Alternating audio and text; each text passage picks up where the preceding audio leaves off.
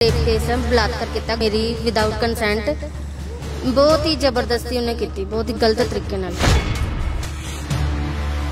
Cold drink ਪੀਣ ਤੋਂ ਬਾਅਦ ਮੈਨੂੰ, ਮੇਰੀ ਅੱਖਾਂ ਅੱਗੇ ਹਨੇਰਾ ਆ ਗਿਆ। ਹਨੇਰਾ ਆਉਣ ਤੋਂ ਬਾਅਦ ਮੈਂ ਬੇਹੋਸ਼ ਹੋ ਗਈ, ਮੈਨੂੰ ਕੁਝ ਪਤਾ ਹੀ ਨਹੀਂ, ਮੇਰੀ ਸੁੱਧ ਬੁੱਧ ਵੀ ਖੋ ਗਈ।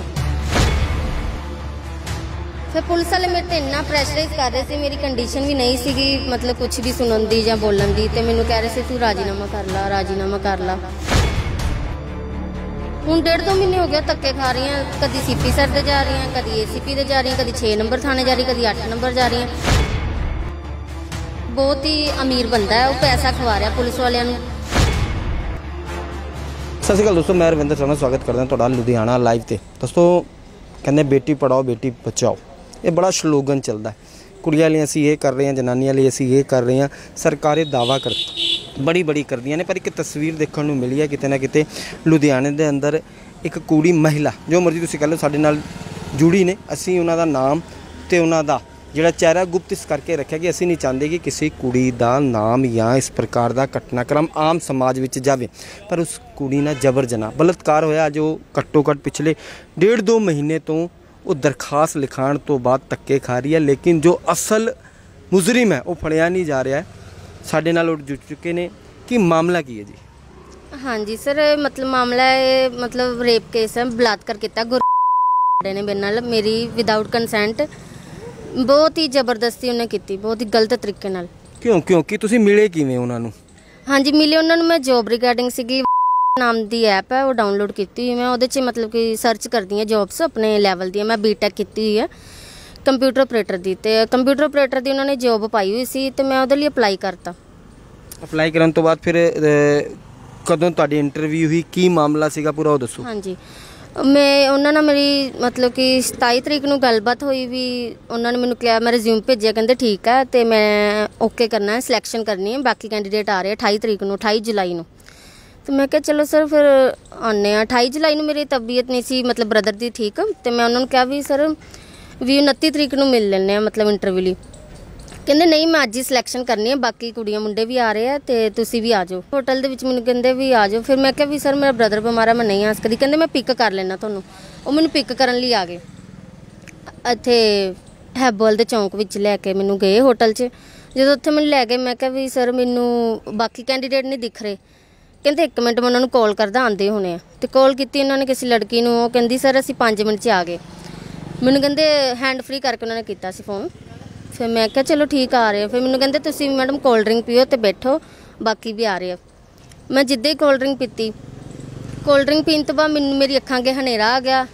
ਹਨੇਰਾ ਆਉਣ ਤੋਂ ਬਾਅਦ ਮੈਂ ਬੇਹੋਸ਼ ਹੋ ਗਈ। ਮੈਨੂੰ ਕੁਝ ਪਤਾ ਹੀ ਨਹੀਂ, ਮੇਰੀ ਸੁੱਧ ਬੁੱਧ ਵੀ ਖੋ ਗਈ। ਜਦੋਂ ਮਤਲਬ ਕਿ ਮੈਂ ਡਿੱਗੀ ਹੋਈ, ਜਦੋਂ ਮੈਨੂੰ ਡੇਢ ਦੋ ਘੰਟੇ ਬਾਅਦ ਹੋਸ਼ ਆਈ, ਤਾਂ ਮੈਨੂੰ ਉਦੋਂ ਪਤਾ ਲੱਗਿਆ, ਮੇਰੇ ਸਰੀਰ ਤੇ ਇੱਕ ਵੀ ਕੱਪੜਾ ਨਹੀਂ ਸੀ, ਨਾ ਗੁ- ਉੱਪਰ ਕੱਪੜਾ ਸੀ। ਤੇ ਜਦੋਂ ਮੈਂ ਮਤਲਬ ਕਿ ਉਹ ਮੇਰੇ ਨਾਲ ਇੰਨੀ ਗਲਤ ਤਰੀਕੇ ਨਾਲ ਨੇ ਜ਼ਬਰਦਸਤੀ ਕੀਤੀ ਉਦੋਂ ਮੈਨੂੰ ਹੋਸ਼ ਆ ਗਈ ਸੀ।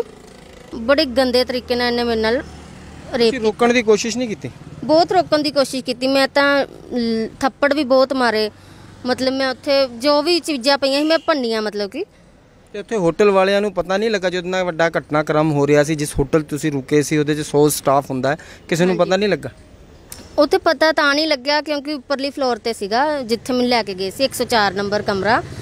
ਮੈਨੂੰ ਕਹਿੰਦੇ ਇੱਥੇ ਇੰਟਰਵਿਊ ਲਈ ਸਾਰਿਆਂ ਨੂੰ ਬੁਲਾਇਆ ਵਾ। ਤੇ ਮੈਂ ਚਲੋ ਉੱਥੇ ਤਾਂ ਗਈ ਸੀ। ਤੇ ਮੈਂ ਜਦੋਂ ਸ਼ਾਊਟਿੰਗ ਕੀਤੀ, ਬਹੁਤ ਜ਼ਿਆਦਾ ਚੀਕਾਂ ਵੀ ਮਾਰੀਆਂ। ਤੇ ਮਤਲਬ ਫਿਰ ਦਰਵਾਜ਼ਾ ਉਹ ਲੋਕ ਸੀਗਾ, ਪੂਰੀ ਤਰ੍ਹਾਂ ਮਤਲਬ ਉੱਥੇ ਆਵਾਜ਼ ਨਹੀਂ ਬਾਹਰ ਜਾਂਦੀ। ਤੇ ਉਹ ਦਰਵਾਜ਼ੇ ਨੂੰ ਉਹਨੇ ਲੋਕ ਲਗਾ ਕੇ ਚਾਬੀ ਲਗਾਈ ਹੋਈ ਸੀ। ਤੇ ਤੁਸੀਂ ਕੋਸ਼ਿਸ਼ ਕੀਤੀ ਕਿ ਕਿਸੇ ਨਾ ਕਿਸੇ ਤਰ੍ਹਾਂ ਤੁਸੀਂ ਉੱਥੋਂ ਬਾਹਰ ਨਿਕਲੋ ਫਿਰ ਕਿਵੇਂ ਨਿਕਲੇ ਬਾਹਰ ਤੁਸੀਂ? ਹਾਂਜੀ ਬਹੁਤ ਹੀ ਮੁਸ਼ਕਿਲ ਨਿਕਲੀ। ਮੈਂ ਉਹਨੂੰ ਕਿਹਾ ਮੈਂ ਕਿ ਮੈਂ ਤੇਰੇ ਖਿਲਾਫ ਹੁਣ ਕੰਪਲੇਂਟ ਕਰਾਉਂਗੀ ਵੀ ਤੁਸੀਂ ਸਰ ਐਦਾਂ ਦੇ ਕੰਮ ਕਰਦੇ ਹੋ ਲੜਕੀਆਂ ਨੂੰ ਇੰਟਰਵਿਊ ਲਈ ਬੁਲਾ ਕੇ ਤੇ ਉਹਨਾਂ ਨਾਲ ਗਲਤ ਕੰਮ ਕਰਦੇ ਹੋ। ਮੈਂ ਕਿਹਾ ਤੁਹਾਨੂੰ ਰੱਬ ਵੀ ਨਹੀਂ ਮਾਫ ਕਰੂਗਾ। ਮੈਂ ਕੰਪਲੇਂਟ ਕਰਾਉਂਗੀ ਮੈਂ ਥਾਣੇ ਚੱਲੀ ਆ। ਕਹਿੰਦਾ ਜੇ ਤੂੰ ਥਾਣੇ ਗਈ ਤਾਂ ਆਪਣਾ ਹਿਸਾਬ ਲਾ ਲਈ ਤੈਨੂੰ ਰਸਤੇ 'ਚ ਹੀ ਮੈਂ ਗੋਲੀਆਂ ਮਰਵਾ ਦੂੰਗਾ। ਫਿਰ ਥਾਣੇ ਗਏ ਤੁਸੀਂ? ਹਾਂਜੀ ਫਿਰ ਮੈਂ ਉੱਥੋਂ ਦੀ ਆਣ ਕੇ ਥਾਣੇ ਬਹੁਤ ਮੁਸ਼ਕਿਲ ਗਈ। ਮੇਰੀ ਇੰਨੀ ਮਾੜੀ ਹਾਲਤ ਸੀ ਤੁਰਿਆ ਵੀ ਨਹੀਂ ਸੀ ਜਾ ਰਿਹਾ। ਨਾ ਬੋਲਿਆ ਜਾ ਰਿਹਾ ਸੀ। ਮਤਲਬ ਕਿ ਮੈਨੂੰ ਇੱਕ ਕਿਸਮ ਦੀ ਮੈਂ ਡਿਪਰੈਸ਼ਨ ਚੀਜ਼ 'ਚ ਪੈ ਗਈ। ਫਿਰ ਥਾਣੇ ਜਾ ਕੇ ਕੀ ਹੋਇਆ? ਥਾਣੇ ਗਈ ਹੈਬਲ ਥਾਣੇ। ਉੱਥੇ ਮੈਨੂੰ ਉਹਨਾਂ ਨੇ 3 ਵਜੇ ਤੋਂ ਲੈ ਕੇ ਰਾਤ ਦੇ 11 ਵਜੇ ਤੱਕ ਬਿਠਾਈ ਰੱਖਿਆ। ਐਸਐਚ ਸਾਹਿਬ ਆ ਰਹੇ ਆ। ਨਾ ਮੇਰੀ ਉਹਨਾਂ ਨੇ ਉਹ ਦਰਖਾਸਤ ਲਿਖੀ ਨਾ ਬਿਆਨ ਲਿਖੇ ਕੁਝ ਨਹੀਂ ਸੀ ਲਿਖ ਰਹੇ। ਉਹਨਾਂ ਦੇ ਫੋਨ ਆ ਰਹੇ ਸੀ। ਦੇ ਫੈਮਿਲੀ ਦੇ ਸਾਰੇ ਬੰਦਿਆਂ ਦੇ। ਆਮ ਆਦਮੀ ਪਾਰਟੀ ਮਿਲੀ ਹੋਈ ਉਹਨਾਂ ਨਾਲ। ਆਮ ਆਦਮੀ ਪਾਰਟੀ ਦੇ ਫੋਨ ਕਰਵਾ ਰਹੇ ਸੀਗੇ। ਨਾ ਉੱਥੇ ਪਹੁੰਚਿਆ ਉਹਨਾਂ ਨੇ ਫੋਨ ਕੀਤਾ ਵੀ ਤੁਹਾਨੂੰ ਆ ਕਿਵੇਂ ਪਤਾ ਲੱਗਾ ਕਿ ਆਮ ਆਦਮੀ ਪਾਰਟੀ ਦੇ ਉੱਤੇ ਫੋਨ ਆ ਰਹੇ ਸੀਗੇ? ਸਰ ਸਾਡੇ ਸਾਹਮਣੇ ਅਫਸਰਾਂ ਨੂੰ ਫੋਨ ਆ ਰਹੇ ਸੀ ਵੀ ਫੈਸਲਾ ਕਰਾ ਦਿਓ 20000 ਲੈ ਲਓ 25000 ਲੈ ਲਓ। ਵੀ- ਤੁਹਾਨੂੰ ਕਿਸੇ ਲੀਡਰ ਦਾ ਵੈਸੇ ਫੋਨ ਹੈ? ਨਹੀਂ ਲੀਡਰਾਂ ਦੇ ਉੱਥੇ ਆ ਰਹੇ ਸੀ ਨਾ। ਤੁਹਾਨੂੰ ਨਹੀਂ ਆਇਆ ਕਿ ਫੈਸਲਾ ਕਰ ਲਓ? ਹਾਂਜੀ ਨਹੀਂ ਸਾਨੂੰ ਨਹੀਂ ਆਇਆ। ਉਹਨਾਂ ਨੂੰ ਪੁਲਿਸ ਵਾਲਿਆਂ ਨੂੰ ਫੋਨ ਆ ਰਹੇ ਸੀ। ਫਿਰ ਫਿਰ ਫਿਰ ਕੀ ਹੋਇਆ? ਫਿਰ ਪੁਲਿਸ ਵਾਲੇ ਮੇਰੇ ਤੇ ਇੰਨਾ ਪ੍ਰੈਸ਼ਰਾਈਜ਼ ਕਰ ਰਹੇ ਸੀ ਮੇਰੀ ਕੰਡੀਸ਼ਨ ਵੀ ਨਹੀਂ ਸੀਗੀ ਮਤਲਬ ਕੁਝ ਵੀ ਸੁਣਨ ਦੀ ਜਾਂ ਬੋਲਣ ਦੀ ਤੇ ਮੈਨੂੰ ਕਹਿ ਰਹੇ ਸੀ ਤੂੰ ਰਾਜੀਨਾਮਾ ਕਰ ਲਾ ਰਾਜੀਨਾਮਾ ਕਰ ਲਾ। ਵੀ ਕੁਝ ਨਹੀਂ ਪਿਆ ਤੂੰ ਰਾਜੀਨਾਮਾ ਕਰ ਲਾ ਤਗੜੇ ਬੰਦੇ ਆ। ਮੈਂ ਕਿਹਾ ਸਰ ਤੁਸੀਂ ਉੱਪਰਲੇ ਅਫੀਸਰਾਂ ਨੂੰ ਮਿਲਦੇ ਕਮਿਸ਼ਨਰ ਸਾਹਿਬ ਨੂੰ ਮਿਲਦੇ? ਹਾਂਜੀ ਫਿਰ ਉਸ ਤੋਂ ਬਾਅਦ ਮੈਨੂੰ ਮੈਂ ਗਈ ਮਤਲਬ ਸੀਪੀ ਸਰ ਦੇ ਵੀ ਪੇਸ਼ ਹੋਈ। ਫਿਰ ਉਹਨਾਂ ਨੇ ਮਤਲਬ ਅਗਲੇ ਦਿਨ ਮੈਨੂੰ ਬੁਲਾਇਆ ਫਿਰ ਕਹਿੰਦੇ ਸੀ ਤੁਹਾਡੀ ਦਿਵ- ਦੋ- ਮਤਲਬ ਸਵੇਰੇ ਆ ਜਿਓ ਤੁਹਾਡੇ ਦਰਖਾਸਤ ਲਿਖ ਦਾਂਗੇ ਬਿਆਨ ਸਾਰਾ ਕੁਝ ਫਿਰ ਉਹਨਾਂ ਨੇ ਮੈਨੂੰ ਲਿਖਾਇਆ ਕੁਝ ਨਹੀਂ 8 ਨੰਬਰ ਥਾਣੇ ਦੇ ਵਿੱਚ ਲੈ ਕੇ ਆ ਗਏ ਅਗਲੇ ਦਿਨ। ਫਿਰ ਐਫ ਆਈ ਆਰ ਹੋ ਗਈ ਜੀ? ਹਾਂਜੀ 8 ਨੰਬਰ ਥਾਣੇ ਵਾਲਿਆਂ ਨੇ ਐਫ ਆਈ ਆਰ ਦਰਜ ਕੀਤੀ ਹੈ। ਕਿੰਨੇ ਦਿਨ ਪਹਿਲਾਂ?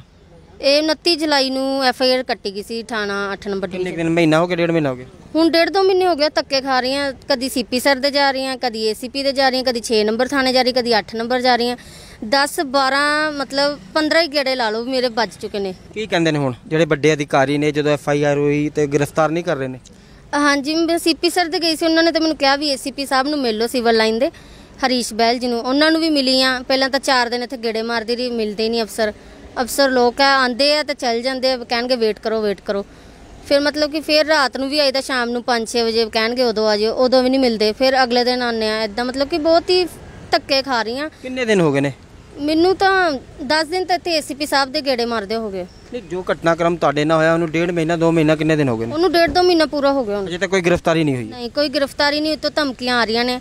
ਮੇਰੇ ਮੰਮਾ ਦੇ ਫੋਨ ਤੇ ਫੋਨ ਕਰਕੇ ਕਰਦੇ ਆ ਕਿਉਂਕਿ ਉਹ ਬਟਨਾ ਵਾਲਾ ਉਹਨਾਂ ਨੂੰ ਪਤਾ ਵਾ। ਕਿਉਂਕਿ ਉਹਨਾਂ ਨੇ ਇੱਥੇ ਥਾਣੇ ਦੇ ਤੁਹਾਡਾ ਇੰਨਾ ਘਟਨਾਕ੍ਰਮ ਹੋਇਆ ਉਸ ਹੋਟਲ 'ਚ ਕੋਈ ਸੀਸੀਟੀਵੀ ਫੁਟੇਜ ਜਾਂ ਕੋਈ ਫੋਨ ਰਿਕਾਰਡਿੰਗ ਤੁਹਾਡੇ ਕੋਲ ਹੈਗੀ ਹੈ? ਜਿਹੜੀ ਤੁਹਾਡੀ ਉਹਨਾਂ ਨਾਲ ਗੱਲ ਹੋਈ ਸੀਗੀ?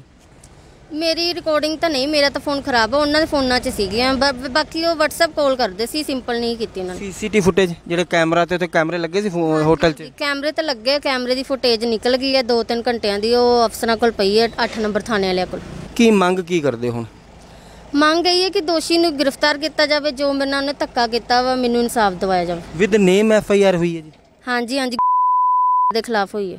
ਸਰ ਪੁਲਿਸ ਮੇਰੀ ਸੁਣਵਾਈ ਨਹੀਂ ਕਰ ਰਹੀ। ਪੁਲਿਸ ਨੇ ਉਹ ਬੰਦਾ ਜਿਹੜਾ ਉਹ ਮਤਲਬ ਕਿ ਬਹੁਤ ਹੀ ਅਮੀਰ ਬੰਦਾ ਹੈ ਉਹ ਪੈਸਾ ਖਵਾ ਰਿਹਾ ਪੁਲਿਸ ਵਾਲਿਆਂ ਨੂੰ। ਹਰੇਕ ਪਾਸੇ 6 ਜੇ ਨੰਬਰ ਤੁਸੀਂ ਸੁਣਵਾਈ ਨਹੀਂ ਕਰ ਰਹੇ ਹੁੰਦੇ ਚਲੋ ਲੇਟ ਹੋਈ ਐਫ ਆਈ ਆਰ ਤਾਂ ਹੋ ਗਈ ਨਾ। ਹਾਂਜੀ ਹਾਂਜੀ ਐਫ ਆਈ ਆਰ ਤਾਂ ਹੋ ਗਈ ਪਰ ਫਿਰ ਨਹੀਂ ਹੁੰਦੀ ਐਫ ਆਈ ਆਰ ਹਾਂਜੀ ਮਤਲਬ ਕਿ ਫਿਰ ਵੀ ਮਤਲਬ ਪੁਲਿਸ ਮੇਰੀ ਮਤਲਬ ਸਪੋਰਟ ਫੁੱਲੀ ਸਪੋਰਟ ਨਹੀਂ ਕਰ ਰਹੀ ਲੇਕਿਨ ਤੁਹਾਨੂੰ ਥੋੜਾ ਟਾਈਮ ਲੱਗ ਰਿਹਾ ਹੈ ਹਾਂਜੀ ਟਾਈਮ ਲੱਗ ਰਿਹਾ ਇਨਸਾਫ ਮਿਲਣ 'ਚ ਇਨਸਾਫ ਮਿਲਣ 'ਚ ਵਿਸ਼ਵਾਸ ਹੈ ਕਿ ਇਨਸਾਫ ਮਿਲ ਜਾਊਗਾ ਪਤਾ ਨਹੀਂ ਸਰ ਇੰਸ਼- ਵਿਸ਼ਵਾਸ ਮਤਲਬ ਕਿ ਮੇਰਾ ਸਬਰ ਵੀ ਟੁੱਟ ਰਿਹਾ ਹੁਣ ਨਾ ਇਹਨਾਂ ਨੇ ਬਿਆਨ ਕਰਵਾਏ ਕੋਰਟ ਵਿੱਚ ਹੁਣੇ ਸੀ 164 ਹਲੇ ਉਹ ਵੀ ਨਹੀਂ ਕਰਵਾਏ। ਇੱਕ ਨਾ ਲੜਕੀ ਹੈ ਜੀ ਜੁਲਾਈ ਦੇ ਵਿੱਚ ਥਾਣਾ ਡਿਵੀਜ਼ਨ ਨੰਬਰ 8 ਦੇ ਵਿੱਚ ਉਹਨੇ ਰਿਪੋਰਟ ਆਪਣੀ ਦਰਜ ਕਰਵਾਈ ਸੀ 376 ਦੇ ਮਾਮਲੇ ਦੇ ਵਿੱਚ। ਐਫ ਆਈ ਆਰ ਦਰਜ ਹੋ ਚੁੱਕੀ ਹੈ ਲੇਕਿਨ ਕਾਰਵਾਈ ਹਾਲੇ ਕੁਝ ਨਹੀਂ ਹੋ ਰਹੀ। ਦੇਖੋ ਕਈ ਸਾਰੇ ਕੇਸਿਸ ਹੈ ਜੋ ਇਹੋ ਜਿਹੇ ਹੁੰਦੇ ਹਨ ਕਿ ਫਸਟ ਟਾਈਮ ਦੇ ਵਿੱਚ ਜੋ ਇਤਲਾਹ ਮਿਲਦੀ ਹੈ ਸਾਨੂੰ ਅਸੀਂ ਐਫ ਆਈ ਆਰ ਰਜਿਸਟਰ ਕਰਦੇ ਹਾਂ। ਜੀ। But depending on the evidence and the circumstances ਜਿਹੜੇ ਕਰਕੇ ਕਿ ਐਫ ਆਈ ਆਰਸ ਰਜਿਸਟਰ ਹੋਈ ਹੈ we require to see the amount of evidence which supports that case कई बार है बंदे कई कई साल पुरानी एफ़ आई आर रजिस्टर कराते हैं कई बार पंद्रह साल पहले की भी कोई एलिगेशन ले आते हैं। कानून जो है इट गिव्स द राइट की भी एफ़ आई आर रजिस्टर कराई जाए।